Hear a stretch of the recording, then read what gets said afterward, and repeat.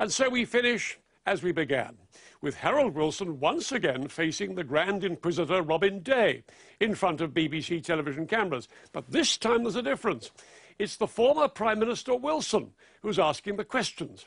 Harold Wilson's fascination with television continued, and here we leave you with a chance to see him presenting his own television programme, Friday night, Saturday morning.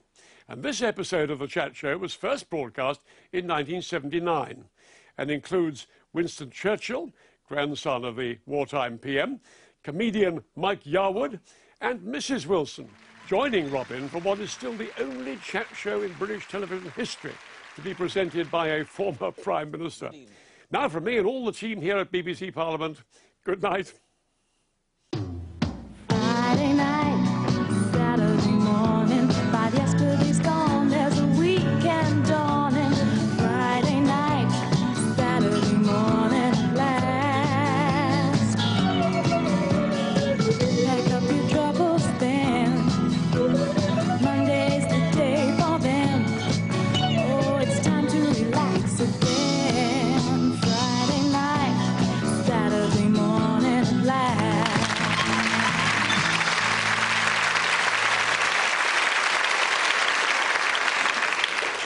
Good evening. I've got three guests tonight. Mike Yarwood will be here, and three coaches have just drawn up outside with him filling them all. Appearing as themselves, from the other side of the House of Commons, Winston Churchill, and the man who is usually on the other side of the desk when it comes to interviews, Robin Day. Now the tables are turned.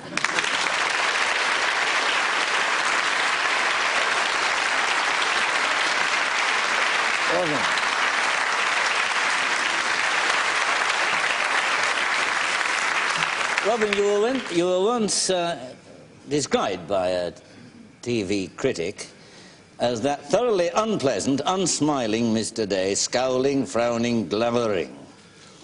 Uh, now, uh, do you accept that, and are you going to scowl and frown and glower tonight? Uh, That was George Scott in 1957, wasn't it? I thought it was 56, but... Yes, I think you're probably right. um, no. No, I'm, I'm the soul of geniality, I thought so, as you have, as you have learnt on so many Of occasions. Of course, indeed, yes. you didn't give me one, though, did you? Afterwards. Robin, would you really rather be an MP, a minister, PM, than the job you do, or are you really happy? I'd much rather have become a member of Parliament at an early stage. Yes. I don't have any illusions that I'd have been a particularly distinguished MP, let alone a minister, but I'd like to have been in the House of Commons because I believe in Parliament. You never know. I mean, look at the people who have become ministers in both parties. and, and Prime Ministers. Let,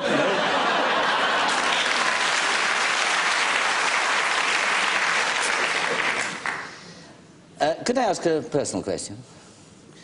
That bow tie of yours, which we regret to see you not wearing tonight, Well, I thought I'd give you something to talk about because you seem to be in difficulties last week.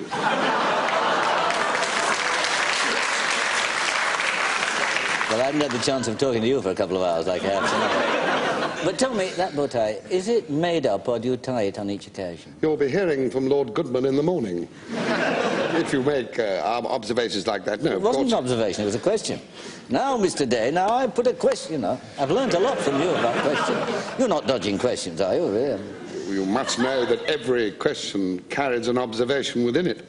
No, I, I wear... Oh, I'm learning something. Slowly. Yes. Uh, I, uh, I wear a bow tie because my father wore a bow tie, and he taught me when he was a, when I was a little boy, and he wore one because some great statesman whose name I forget, at the end of the 19th century, wore one too. I wore one before I went on television, You did? but I'm not wearing one tonight. No, I noticed that. I think we can leave I can, that. I can go and get it if you like. No, no, no, no, no, no. They, they can all recognise you. Uh, tell me, do you do all your own research? Yes, but I don't want to be unfair to people who do work on the programme because Yeah. there's a great deal of material to be got for various programmes and people assemble it for me and I say, I want that white paper or what uh, Sir Harold said in his Brighton speech at line 243 on page uh, 312 and that's helpful if I don't have to actually find that myself. But There is thinking no- it through, I do myself. There is no page 312 for the Brighton Conference. now, a few years ago, in an interview at a party conference, I think it was in Brighton, actually, now you mention it, You said I'd been leader of the party so many years. I can't remember how many it was at that time. And when was I going? This was in a public interview. I used to say that every year. You, I think so. Well, you got your way in the end, didn't you? That was why you resigned. Of course. You'd more be wanting to know. I pointed out that you've been doing your job far, lo far longer than I'd been at number 10, and, and shouldn't you go first? Well, I did resign, but now three and a half years later, you're still there. Now, what about it? Well, that's very interesting because you, you've got the same theory, really, as, as Ted Heath, because he once uh, spoke at a, at a conference about the media and so on, and he said uh, he had a theory that uh, uh, political leaders weren't kicked out because they were bad political leaders, but because the public were bored by them being interviewed continually by the same boring television interviewers. Uh, and so Ted Heath thought it very much better to replace the television interviewers rather than replace the political leaders. Do you And agree- I think there must be an answer to Do you that. agree with, do you agree with what he said Well, I can't occasion? honestly think of an answer to it. But you don't agree with it. Well, I, I, it seems to me to have a, an utterly impregnable logic. I don't agree with it myself, I say. Uh, now, for a long time, you've been a strong supporter of televising uh, of Parliament, I think, and so have I. Uh, do you think it, this would be good for democracy, or do you think it might encourage, uh, I mean, sure, it's inconceivable, a certain degree of exhibitionism and showing off in the chamber? I don't think it would encourage any more exhibitionism than there is anyway. Um, I once, you know, well, you can Don't recall. underrate MPs. Yes, but you see, if, if some members of parliament did some of the silly things which they do sometimes, and uh, you know as well as I do that the number of silly things which go on in parliament are, are relatively rare. Most of it is very businesslike and Yeah. polite. But occasionally there's someone who does something silly. If they did that on, on television, it was seen by their constituents. Yeah. Some of their constituents would be, would be very ashamed. I think that, I think that is, is a, a very fair point. Uh, one thing for certain, I mean, there'll be far more MPs sitting in the chamber, I think, for the Yes, debate, but I think there? this would be to begin with. I think after a time, Yeah. everyone will get used to it. But the important But thing they'd have a bigger job explaining to their constituents that a lot of the work of an MP is in committees upstairs, the, uh, all the select committees of the House. Well, some of them Yeah. may get to be televised eventually when we have That more would be fun, it? Yeah. But the important thing is it would put people out of me like, a, out, out, like me out of a job for much of the time, and I think that's a good thing because it's very silly that anyone should judge a prime minister or a minister by how he performs in a television interview with a non-elected person. No, but surely, I mean, in fact, you'd be able to be free to comment on it rather than have to tell people what has been so, said yes. in the and House. there'd be the recesses yeah. and there'd be general elections. Now, I think you support uh, radio, the House. I, I, I'm worried about it. I, I did support it. It was first put in as an experiment when I was Prime Minister. And I used to listen to it, uh, not, not my own question time, obviously, but let's say on a Wednesday when I wasn't answering questions. And it sounded to me uh, most unfair to the opposition of the day, whoever they might be. In that case, it was the Conservatives, because they were shouting and yelling, and they sounded like yahoos on radio, whereas there was a very serious minister giving his very serious answers. I'm sure it would be exactly the same now, the other way around, with uh, Labour on the opposition benches. And therefore, I agree with you in wanting to see television. On the whole, I'd be against uh, the reimposition of radio. I wouldn't stop the radio. I don't think it's been very successful because I don't think it's been done in the right way. I think it was a mistake to concentrate only on Prime Minister's question time, which is not a very typical thing and which has deteriorated in quality. As you know very well, having been in Parliament since 1945, it's a much less uh, successful I agree, I question agree. and answer than it used to be. I agree, because all the questions are, will he visit Chorlton Cum Hardy or wherever, a very good place to visit, of course. Uh, and then the questions might be something about what's happening in Scotland, Wales, Ireland, or, or, or foreign affairs. Or uh, what are his engagements for today? And when you've given that answer, you then get something like a quarter of an hour of questions on anything under the sun. He's the only minister who isn't told what sort of area he'll be covering. Therefore, he's got to live on his wits. And I agree with you that it has made that quarter of an hour, Tuesday and Thursday, less, uh, le- le- less uh, valuable. But um, do you think a lot more people would uh, be watching television sometime during the day if Parliament was televised than I think it's supposed to be, isn't it? About a quarter of a million listen to question time on the radio. Well, I don't know how many people would watch it, and I don't advocate it as mass entertainment. I advocate it purely as a public service. I think people have a right to see their parliament in action, either uh, when it's broadcast live, if it is, if they're free to do so, or extracts in the news bulletins or in special recordings later on. I remember Aneurin Bevan saying to me, and he was one of the first people who really wanted to do it. Yes, he was. Um, saying, if, if there's the Scottish Teachers Superannuation Bill, then Scottish teachers ought to be able to watch it. Yeah. Now, in the 1959 election, uh, you stood, I think, as a Liberal candidate. Was it 59? Yeah. Uh, for Hereford. Uh, if you were standing now, would you still stand as a Liberal? No. Uh, first of all, I think uh, you ought to be aware of something called the Rehabilitation of Offenders Act, uh, in, in which it's not right to refer to some offence or misdemeanour long ago in someone's youth. And I think your reference to my Liberal candidature is as bad uh, taste as it would be to me to refer to you as when you were an active Liberal in Oxford before Yeah, you course I was. decided that the Labour Party was the way to power. Or indeed old, old young Winston's grandfather. No, no, no. Actually, actually, I may say, I think this may have come up last week. I went to one meeting of the Labour Party, and there were all those public school Marxists, and I'd never read Marx and still haven't, and got sick of the whole idea. Yes, I joined the Liberals, but I found that uh, they didn't fit what I wanted, and in the end, I came back to the senior, uh, you know, the more grown-up, not undergraduate Labour uh, Party. Uh, but um, so you regard that as really what a, a- a useful piece of enthusiasm rather than Yes, I was brought up as a Liberal and I wanted to have a go at standing for Parliament. I don't regret standing for Parliament because it's a useful thing to, to have to stand up in a town, uh, town square and uh, Yeah. deal with a big audience. Well, what do, you, what do you think about the power of television now? I mean, we have seen the power of American television bring down a president. It was, uh, I think, Which president was that? Nixon. Don't think. Uh, You don't think it was television? No. Why, why was it television? Well, I mean, everyone saw him sort of crack under it. You I think, would it, you thought think it would have gone sooner or later, do you anyway? With, with, with respect, I think that what brought down Nixon was what he did himself and the decisions of the, mainly the decision of the Supreme Court in insisting that he gave up the but do you think that... Uh, He wouldn't have gone otherwise. Do you think British television, anyway, has got too much power uh, in influencing politics, too little, or have we got it about right? I think it, we've got it about right. I don't think uh, it influences people. Um, an individual program may influence people, say about a problem of uh, um, a problem of homeless people or some scandal. But in terms of the political scene and the political balance, I think on the whole it's uh, reasonably fair, and people make up their own minds. I think all the evidence. I'm not much, not very keen on this academic research into how people vote. I don't really believe in it. But insofar as there is any, it seems to show that television cancels itself out. It's so fair, or perhaps so boring. I don't know.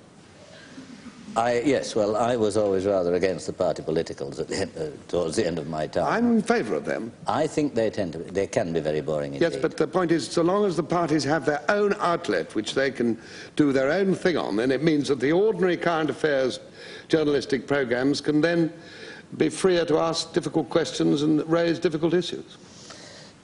Once I gather you uh, were studying for the bar. Yes. And you, you've still got those qualifications. I was presumably. called to the bar, yes. You were called to the bar. Do you think you'd have made more money if you'd gone to the bar?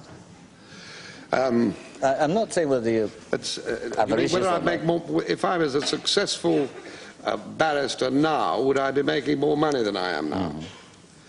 Um, probably if I were a very successful barrister, and I don't think I, I would have been, uh, I would be earning more money. Because the very successful barrister now earns six figures, and I, let me assure you, don't uh, earn that. Um, but I think I don't think I would have been a very successful barrister because the really successful barristers are very good lawyers, um, infinitely more profound legal brain than I ever had. I think you're too modest there. I mean, if I had to, a big legal case, I'd rather you'd been on my side than against. Well, if it had been, a, if you're visualising something which one finds it rather difficult if you're being accused of a rather, rather squalid crime at the Old Bailey or a something civil like that. case, None of us can visualise You make that. more money in civil cases, not criminal. Indeed, but uh, you, you said on your side, oh, I see what you mean. But I wouldn't have been. I, I don't think I'd have done very well. If I had been anywhere, I'd have probably been a, a kind of rumpole of the Bailey. I'm now a rumpole of the Beeb, I think. yes. Now, talking about the Beeb, uh, you've, uh, you've been at the Beeb, uh, I mean, you've been very loyal there, but have you ever really wanted to be in the other programme? ITV? Well, I started in ITV Mm. Started at, there?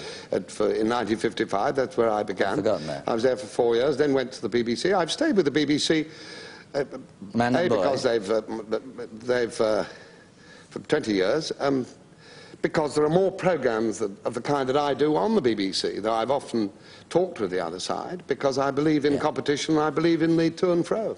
You're happy about the fact there is television. Would you like to see more television? Uh, so, more, competition, I mean. Um, yes, I think I'd like to see a, a, a fourth channel. I'd like because I think more competition in the world of information and and, uh, and indeed entertainment, if you like, is good for everybody. Now, as still a very young man. what? I am, or you are? You? Oh, I'm not. I'm, I'm getting on. Yes, but what is your ambition now? Well, uh, I'm not really very ambitious. I'm not trying to av- avoid your your question. I would like to go on doing what I do as well as I can and hope to be of some use to people. I've never been one of those people who wanted a great deal of power. I don't. Uh, I'm not under illusion that I have a great deal of power because everything I do works within a context of uh, BBC rules and so on and so forth. I would like to go on doing what I Well, do you've well. got more power than the journalist writing in a newspaper, don't you feel? Because people see you and listen to you. Well, I'm not You're, sure. three you're a three-dimensional figure on a two-dimensional screen. I'm not sure that I uh, agree with that. It, it depends which journalist you're talking about. Editorial, as you know, because you got very angry about them, um, can, can be very stinging. If I, when I, for instance, was interviewing you as Prime Minister, first of all, I don't decide that you come on. You decide whether you want to come on, and the BBC decides whether to invite you. They then decide whether. And usually, usually they, they would um, find, find, it was uh, you, find that yes, they were ready to have the Prime Minister on. Then they would decide who they wanted to interview you. It might be me, it might not. It might be me. If it were me, I would then have to decide. Oh, they would tell me whether it was you or not, and if it was, I, of course I said yes. Flattery won't help you in this situation. and then the, then the question areas, I discuss them with my editor. And the only area of power, I would prefer to call it responsibility, is when we're on the air live and you are, supposing you were in your desk at Downing Street and I'm asking you a question, you give me a, an answer which I hadn't expected, or raise it, raises some new point which I wasn't aware of, then I have to decide what to do about it. And nobody has briefed me on that, and nobody has told me what to ask. If, of course, I ask some stupid, ignorant, or offensive question, then I wouldn't be asked to do it again. So you summarise it then, responsibility without power. I would say responsibility and a, a share of the power which the media has within certain strict rules. Thank you, Robin.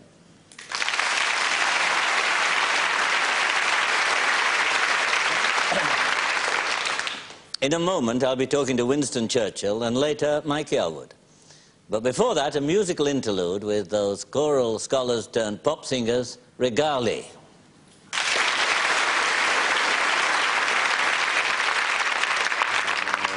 Love, careless love, do come home. Careless love, careless love,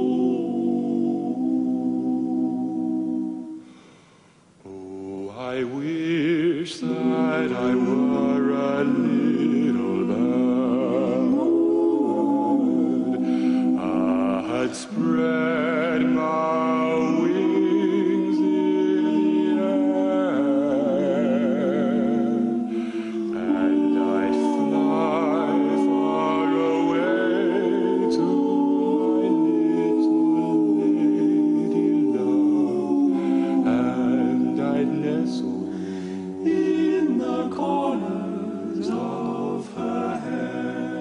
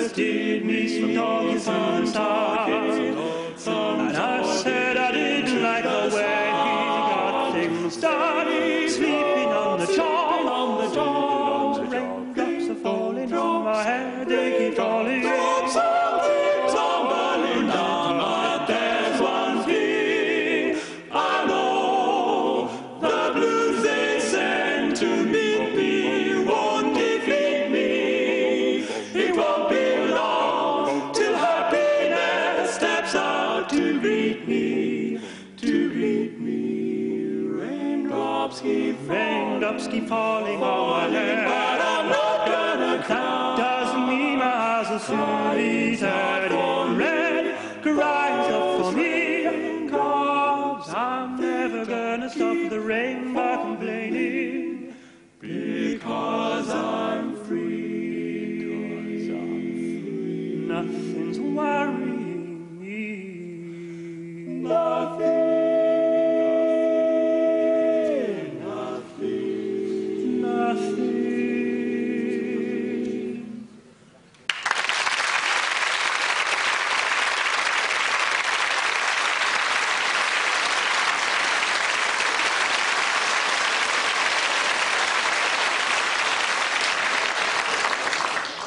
That was Rigali.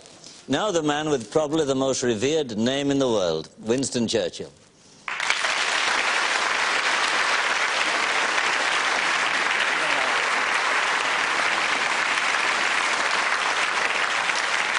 Winston, I don't know if you've heard that, but I referred to you as the man with the most revered name in the world. And he referred to me as old young Winston. Yes. Well, is that an advantage or a disadvantage to have your grandfather's name? Well, I suppose it gets one invited on the Harold Wilson chat show. That's not why I invited you, as you will find out before we finish. No, it gets one into all sorts of awkward scrapes, I must say.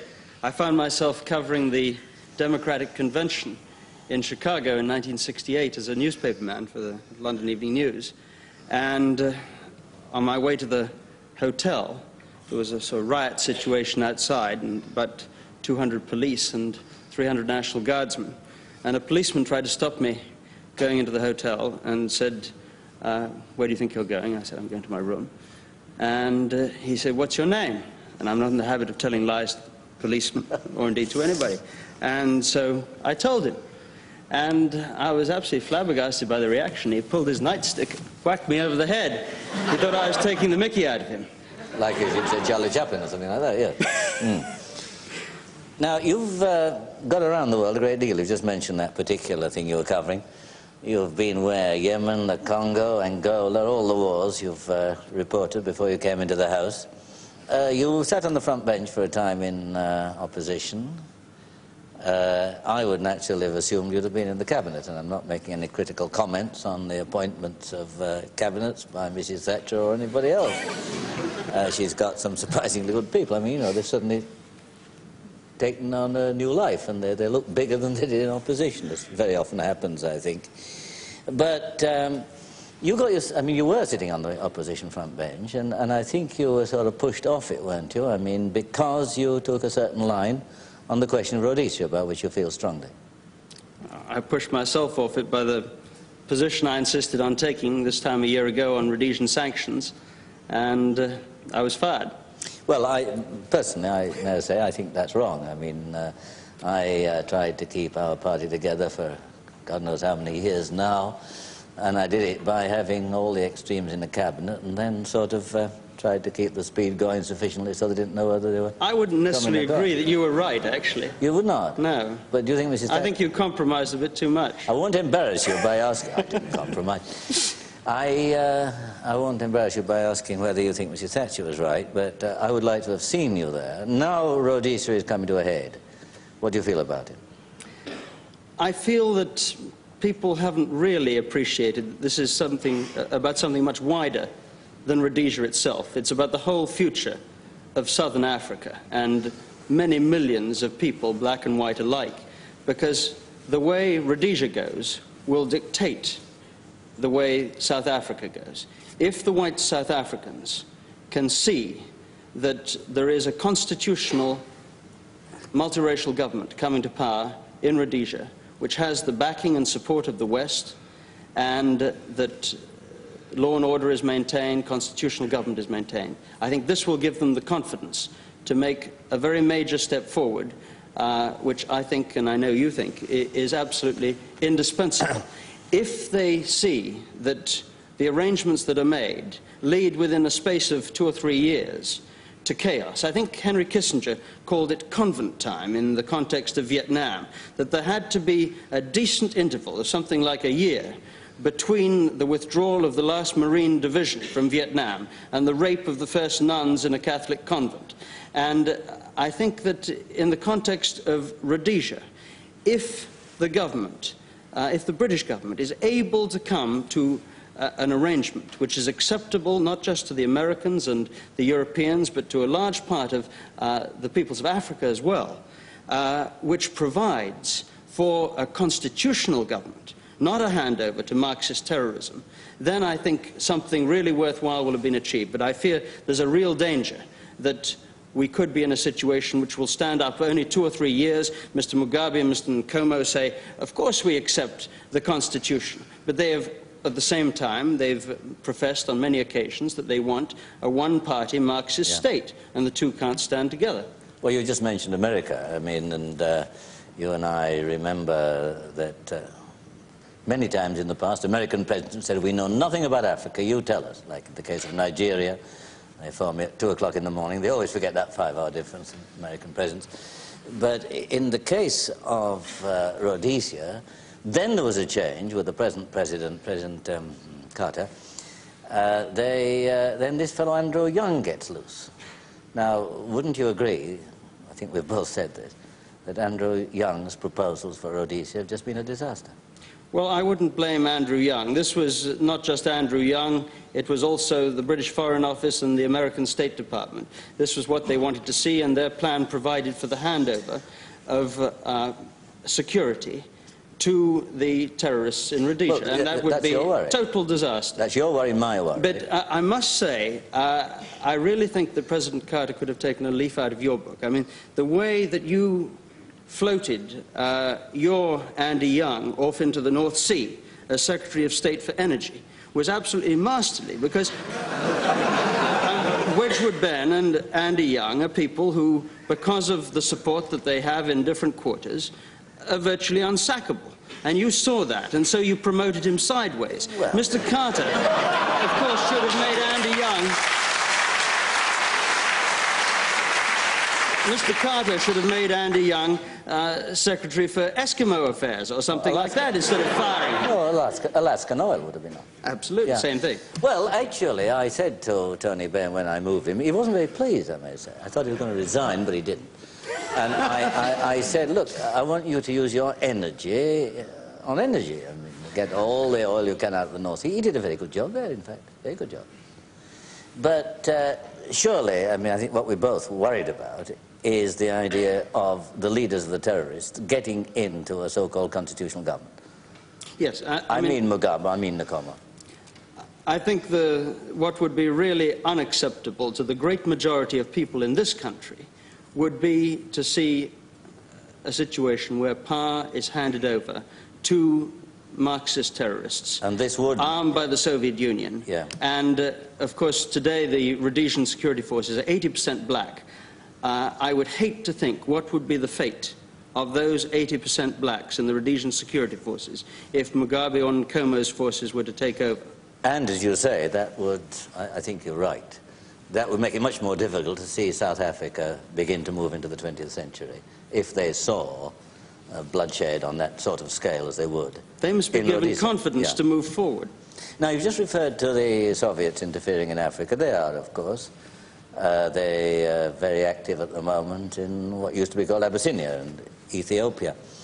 But I sometimes get the impression, I don't know whether you are like some other members of your party here, or indeed of my party, there's a tendency now to say that the Russians are baddies. Well, all right, they're the Warsaw Pact, they are our adversaries, we uh, are NATO. But uh, because the Chinese dislike these baddies, the Chinese must be goodies. Now, my view, let me ask you yours. My view is that the Chinese are just as thoroughgoing communists as the Russians. Uh, only they do it more nicely, they're more bland. And uh, in fact, the Russians are looking to me now more like a lot of rather privileged czarists, I think, uh, than uh, old fashioned communists. And I'd be more worried about China than a lot of people seem to be both in Britain and America. Or are you happy about China as, the, as, as neutralizing Russia, so to speak? Well, of course, I'd like to see a democracy in China, there's no question. But I think that one's got to decide what is the threat to the people of Britain, to the people of Western Europe and the NATO alliance. And it isn't communism. It is, above all today, Soviet imperialism.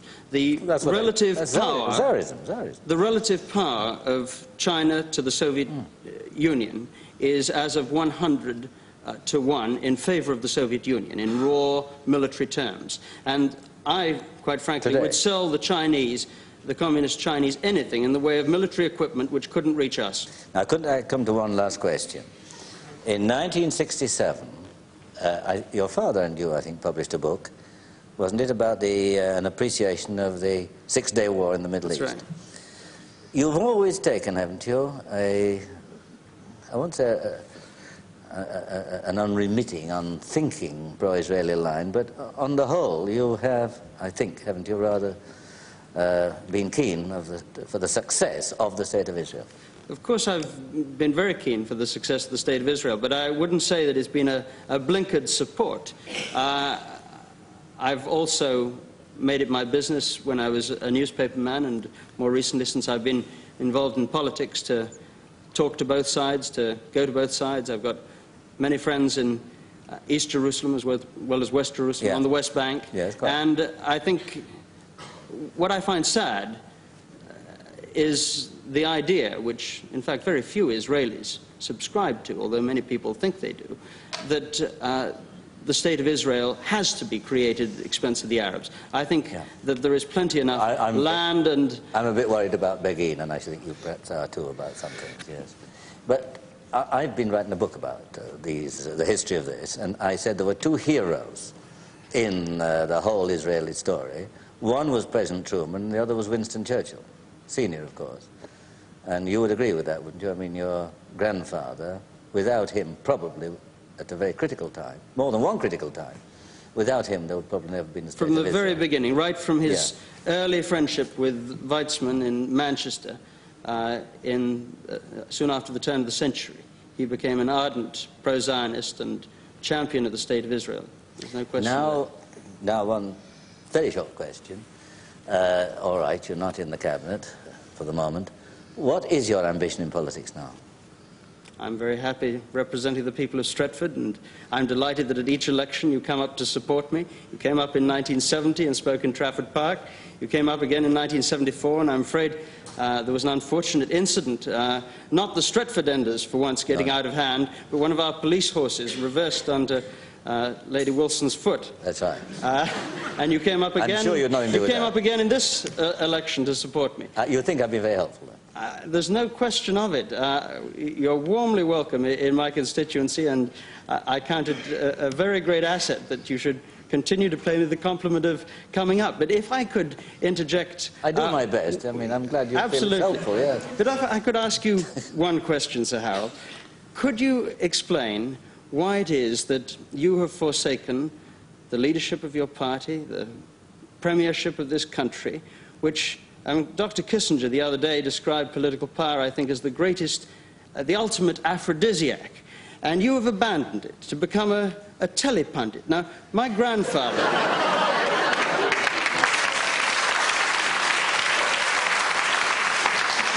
My grandfather, even at the age of 80, he had to be dragged off the stage. He didn't go unwillingly, a- and he certainly wouldn't have given away to an elder man.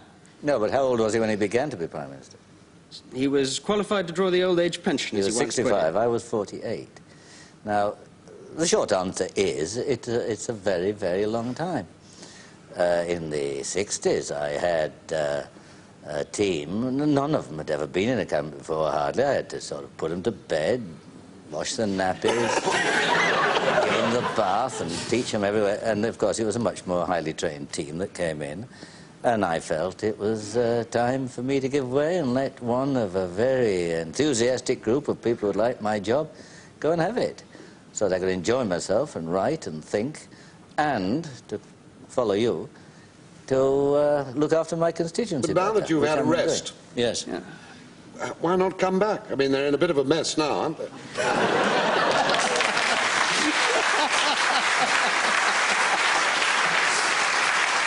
I think that's a very good question, Mr. Day. I propose not to. Uh, I propose to look it straight in the face and pass on. You sound like Sir Harold Millen.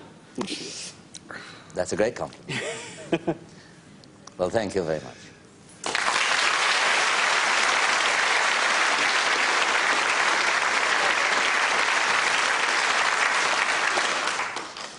And now, before I welcome Mr. Yarwood, a song at the piano from the young American singer Dean Friedman.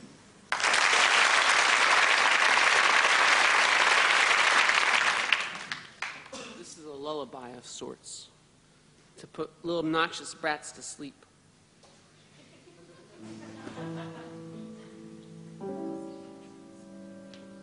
Oh.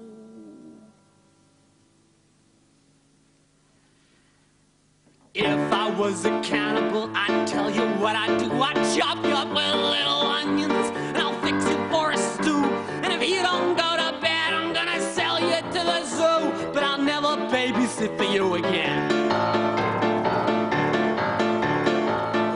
was a crocodile, I'd tell you what I'd do. I'd take a bite out of your leg and I would slowly start to chew. And you'd never walk again. You'd always have to use a cane, but I'll never babysit for you again.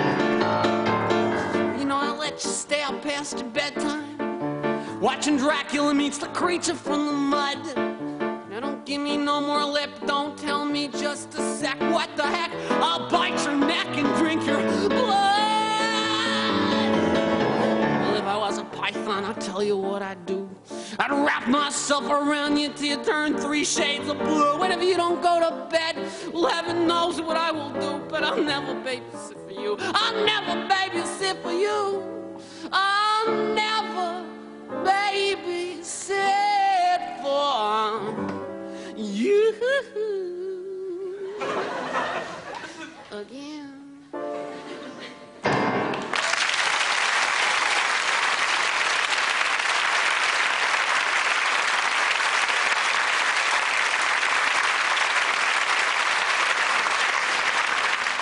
That was Dean Friedman.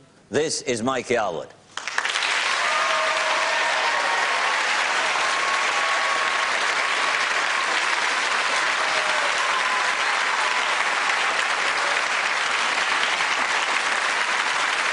You know those two, I think. Well, how are you coping with the new government? Well, what was your name again?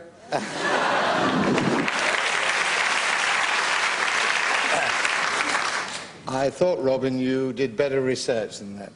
I, in answer to, to, to Sir Harold's question, how am I coping with the new government, I, I could answer that with the question, you as the opposition, how are you coping with the new government? But uh, having said that, I've lost my voice. And not only that, I've lost everybody else's voices as well. Um, that doesn't help.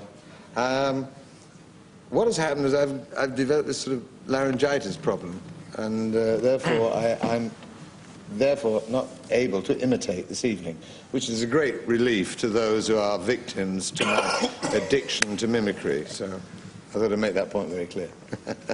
I feel a little easier already. well, yes, but uh, people say to me, they say, uh, well, uh, would you sign an autograph, which is a great privilege, and they say, don't sign it Harold Wilson, will you? And things like that. you don't do Harold Wilson with a raincoat. I say, well, I do him with a raincoat, but I can't find the man who makes them.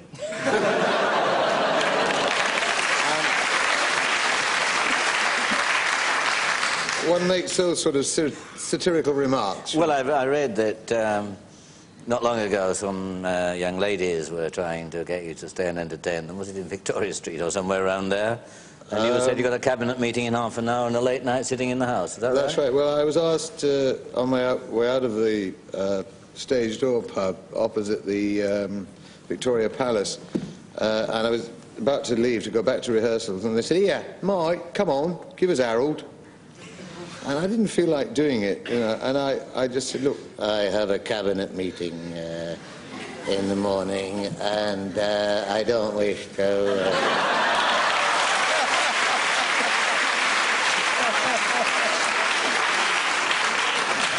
I do not wish to detain my colleagues, so therefore would you not bother me? And uh, I have no time for that sort of uh,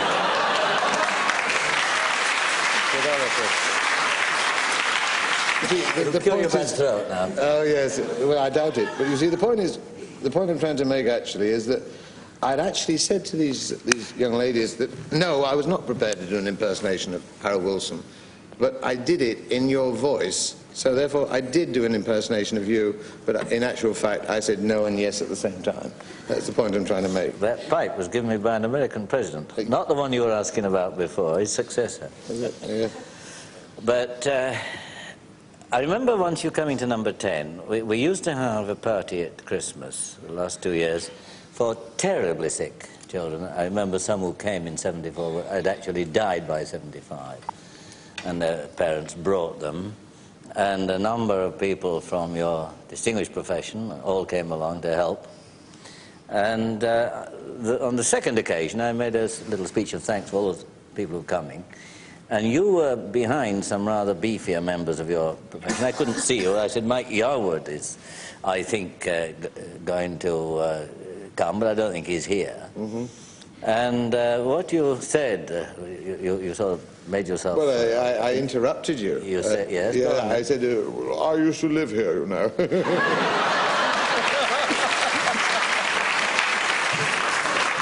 And uh, your, your, your wife was standing, standing next to me, and I said, uh, I'd love to do this thing when, when, when the Prime Minister stands up. I'd love to sort of heckle him as Edward Heath. Uh, would he be offended? And, she, and, your wife said, Mary said, no, no problem, do it, love it. And that's what we did. And, and those parties, uh, they're a, it's an annual event, you know, at, Downing Street every year for the handicapped children. It's got nothing to do with um, social climbing, as, as sometimes the press make out. It is in actual fact for the handicapped children.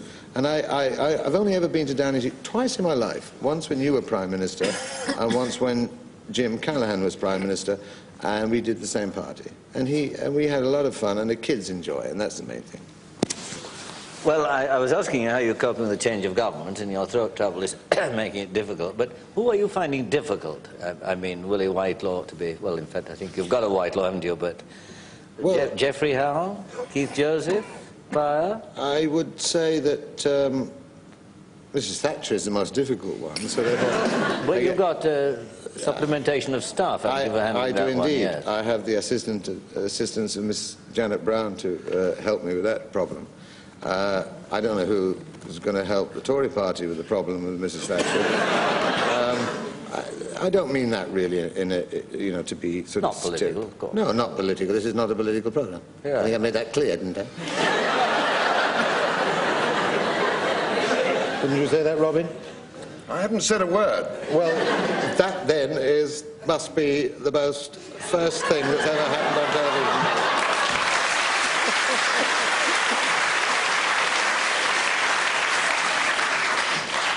I, I've been tackling this government, uh, I, I, this throat problem at the moment. I, I'd planned uh, to come along and, and do a few little trailers for you. Tomorrow night we have a show, of course.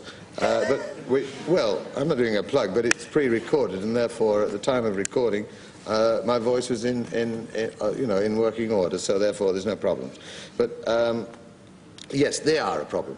But if you think about people like Willie Whitelaw, you see, there again, there again, you see, you, you have a, a character to go to.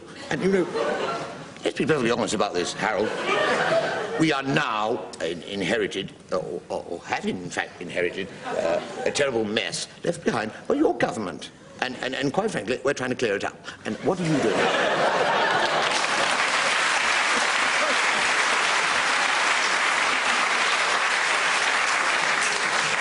Well, that's one you've mastered, but uh, Not who, quite. who are you finding got a bit difficult? I'm finding uh, great. I, I, we, I, I've had Norman St. John Stevas, you see. I've had Norman St. John Stevas. Uh, I've had, I've done a, a Jim Prior, which is very like that and very deep and quite easy to imitate. Uh, and I, we've done, who, there was the other chap called, oh, just shows you how famous they are. Keith Joseph. Keith Jarvis is not famous, sir, with respect. Um, where have you got the information from him? no, I, I, with respect to Keith Jarvis, no. He uh, um, is, is, a difficult character to, to, get a sort of a look-alike. With our television shows, what we try to do is get what we call look-alikes, you know, uh, uh, you know, try and sound like them, by all means, but try and look like them as well. That's what television is all about. And, and this government, I'm, I'm easing myself in gently you know, uh, and easily to them, uh, and hoping that eventually I will, in fact, uh, uh, perfect. That's not really the word I want, perfect, because you never actually get a, a perfect reproduction of the person. Although, in fact, uh, I think the nearest thing I ever came to was, was Robin, in fact, uh, in terms of voice-wise, you know. I think you do Esther Rantzen very well. you have no right to look through windows.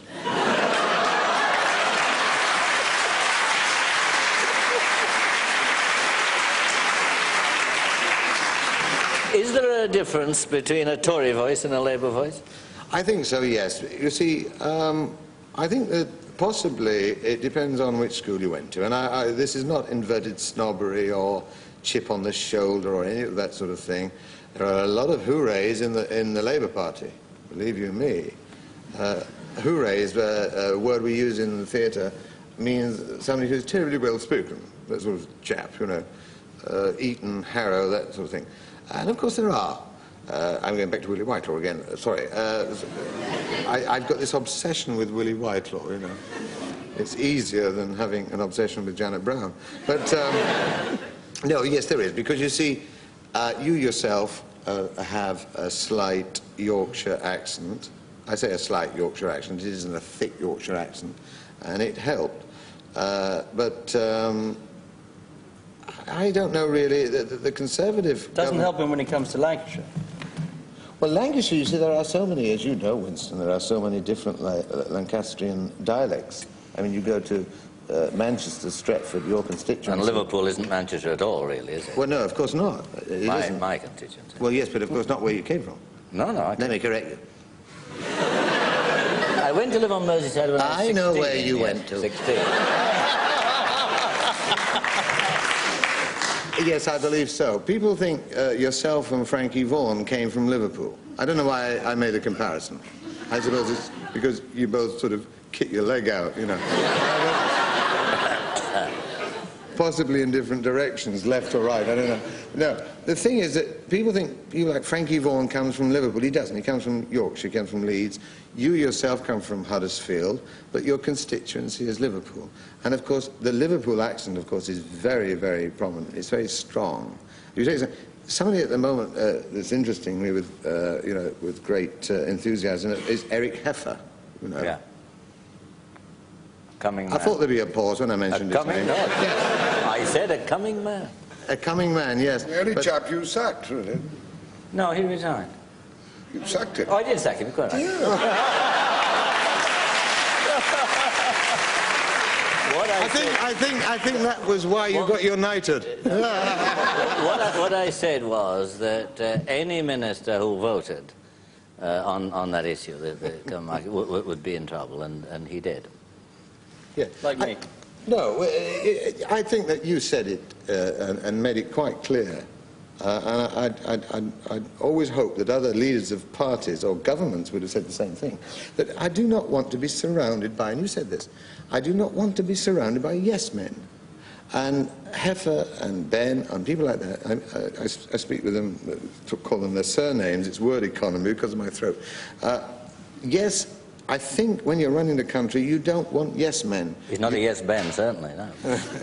well, of course not. And you don't want people who are yes men. You want people who will serve the party and serve the country uh, to the best of their ability. Uh, that's my own viewpoint if we're talking politics. If we're talking show business, that's a totally different thing. Yes, of course, Eric Heffer, and people like that are very mimicable and um, very, uh, you know, people you can caricature. Have we heard Eric Heffer from you? No, you haven't. I thought I'd missed it. It's coming, is it? Well, you see, um, I, well, it, it, it, it takes time. You see, I, I worry, I worry a great deal about when we're doing the shows and we have our planning meetings with the script writers and the producers. I think to myself, they say, you must put an Eric Heffer in here, or you must put a, um, uh, what's the chap with the moustache, the Royds, uh, with the Winston? Rhodes Boyson. Yes, that's right. Uh, forgive him if he's watching. I don't remember his name. He is very mimicable. But I said, it's all very well, but would the public know that person?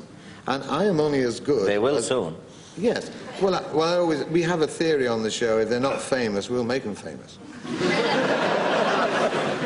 so what happened to you? That's just, I was just going to ask you. But uh, look, do you really? I mean, just do you just study your victims, as it were, from the outside, look at their mannerisms, their voice, and so on, or do you, in some way, try to get inside their personality, try to be them for a moment? Yeah, first of all, I don't like the word victims. You once had a, um, an alternative uh, word for that, I think, when we did a Michael Parkinson show together. You called them the clientele, you know. Uh, I, I, I look at, you know, when I, I look down the list and I say to our researchers on the show, who haven't we impersonated recently? I say, would you get out my honours list? and we have a long list of people we've impersonated. Not bad taste, that remark. I wouldn't have thought so. Only bad taste, Mr. Day, because you drew attention to the fact.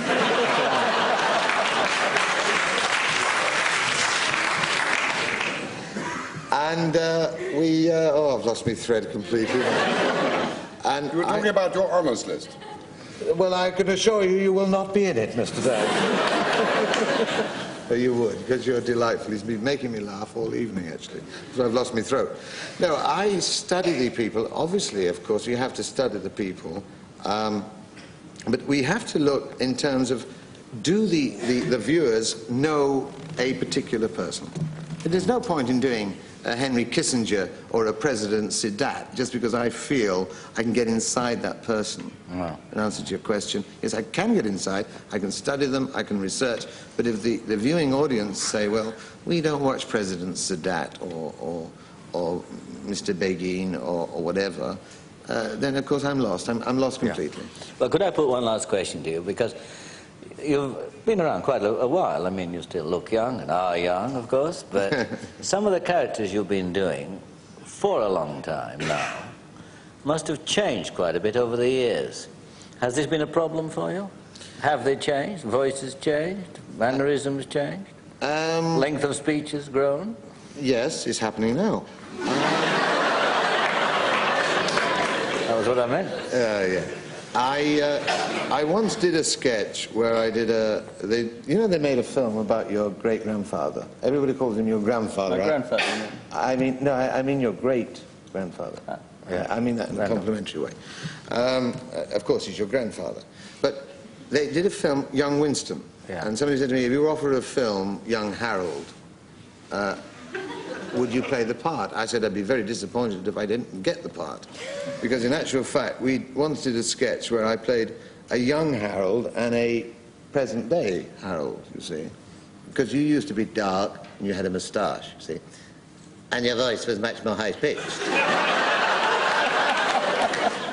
and you were a minister of the Board of Trade in the Attlee government at the time, and you had a very sharp moustache, and you were very Came handsome. off on the 2nd of September 1949.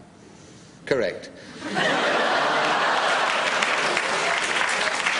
Because Herbert Morrison was always confusing Hilary Marquand and me, and so I had an argument. I said, You've had your moustache longer, you should take it off. He said, No, I'm there first. My moustache has got squatters' rights, you shave yours off. Yeah.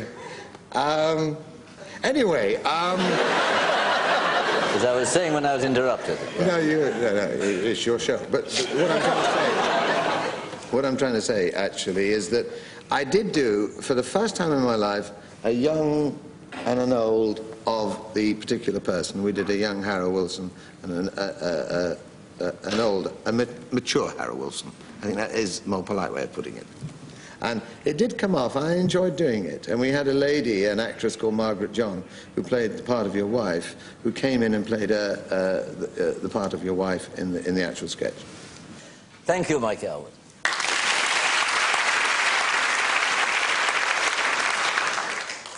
Now a lady. No, it's not Janet Brown. It's my favourite poet. We've met before.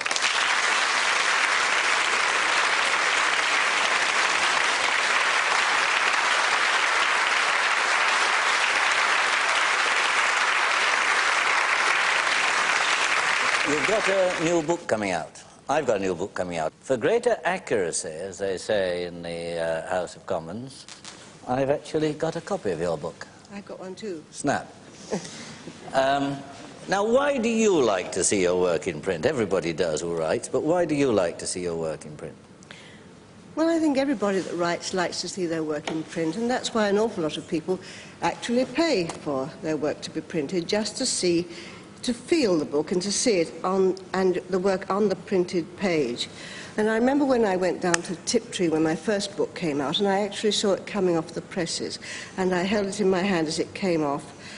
And, um, well, I, I said, and in my life, the, the most emotional moments were the moments when my children were born and my young family was growing up. So I thought a bit and I said, this is the most exciting and thrilling thing that's happened to me in the last 10 years, and that was in 1970.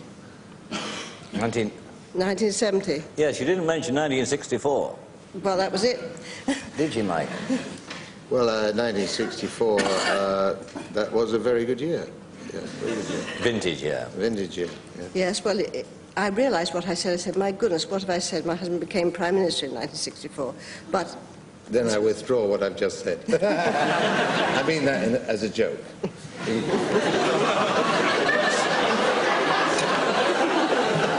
As a what? As a joke, Mr. Day. Mr. Day, ever heard of jokes, Mr. Day?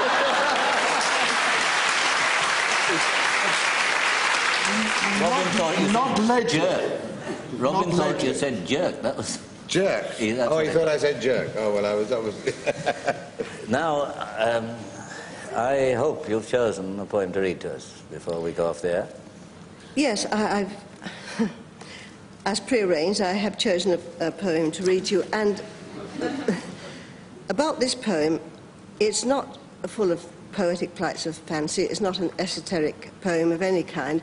I wanted to keep it really simple, and I wanted to dedicate it to all the wonderful and rather um, independent and astringent old ladies. We've met many of them over the years. And because uh, this is London, I thought it'd be rather nice to read a poem called The Old Woman of Peckham. My life is made of shadows which move across a screen. Sometimes they bring back memories of all the things I've seen. They showed the war last evening, the mud and the very lights, and no man's land and the trenches. I remember the London nights with the troop trains in the darkness and the zeppelins overhead, the wounded on the stretchers and the dreadful lists of dead. The canteen at Waterloo Station and the soldiers wet and cold, hungry for love and excitement, and one so handsome and bold held my hand with the teapot in it. I shall always remember that day. And he bought me a ring of garnets before he went away. On his next leave, we were married. Oh, I can see us now. We went up west for our supper, then on to Chu Chin Chow. Thirty-five years we were married, snug in this little street, and even now I listened for his returning feet. We had plenty of jokes and laughter. I don't remember the tears. With the children growing round us, yes, those were happy years. We both worked hard for our living, but I really can't complain. He was with me through the bombing, and he went without much pain.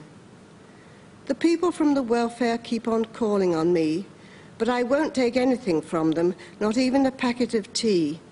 They always seem to remind me that I live here all alone, that my children have married and left me, and my husband is dead and gone. Mother, come with us to New Zealand. But I didn't want to go. And I understood and don't blame them. They were glad when I said no. I tried not to show that I'd missed them when I waved them all away. I've always lived in London, and here I mean to stay. My neighbour fetches my pension, and she shops for this and that. But I don't let her over the doorstep, I keep her on the mat. She's a kindly soul, and I'm grateful, but I wouldn't call her a friend. I want to be independent, and to be so till the end. Some day soon I shall need them, those people who knock at my door, when the doctor on the telly can ease my pain no more. But when I have drawn my curtains and my fire is burning bright, I know I'll be able to manage for just another night.